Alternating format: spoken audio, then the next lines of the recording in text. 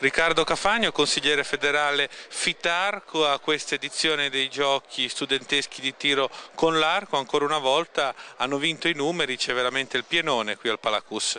Beh sì, la tradizione della Liguria eh, nel tiro con l'arco di avere il pienone, noi portiamo avanti questa politica federale il nostro futuro come per tutte le federazioni sono i giovani e puntiamo decisamente su quelli. Io tra gli altri settori mi occupo anche dei disabili, del para archery e eh, l'Italia è una delle nazioni ai vertici mondiali.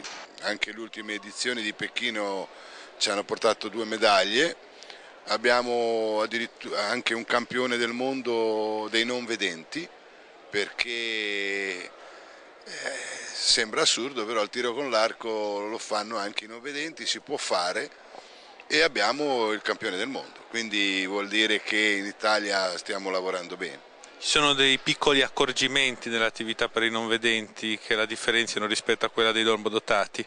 Beh, sono divisi ovviamente, si chiamano classificazioni, sono divisi in varie in varie classi a seconda della tipologia di handicap e della gravità di handicap. In base a queste tipologie poi vengono fatte le classifiche, ovviamente ci sono dei piccoli accorgimenti, per esempio parlavo dei non vedenti, hanno un mirino tattile, cioè praticamente un sensore nella mano che gli fa regolare l'altezza della freccia, cose del genere, e che però per loro è utilissimo. Mm, per il resto gli altri non hanno dei grossissimi accorgimenti se non un, un supporto magari maggiore nella carrozzina o cose del genere, però sono piccole cose.